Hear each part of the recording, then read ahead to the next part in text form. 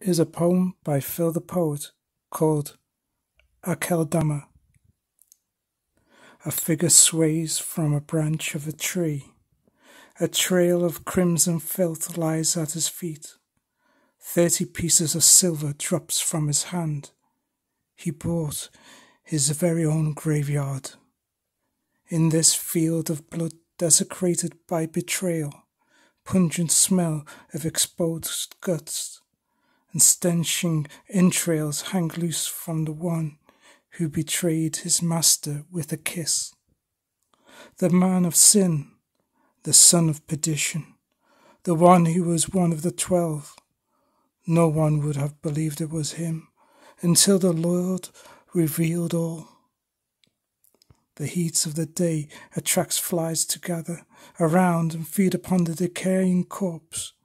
An evening rain comes to wash the blood away, but not the sin of treason, nor of betrayal. The field of blood, a cursed land, in which a figure sways on a tree, a descendant of Absalom, in the line with the sons of Belial.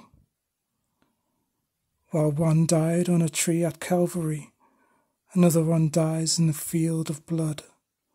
One rose triumphant, the other dwells in the pit of hell, wishing he was never born.